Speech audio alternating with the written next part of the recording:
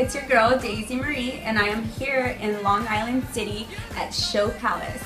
Today is August 29th. I will be here today and tomorrow, August 30th, so make sure you come by and say hi. Don't want to miss out.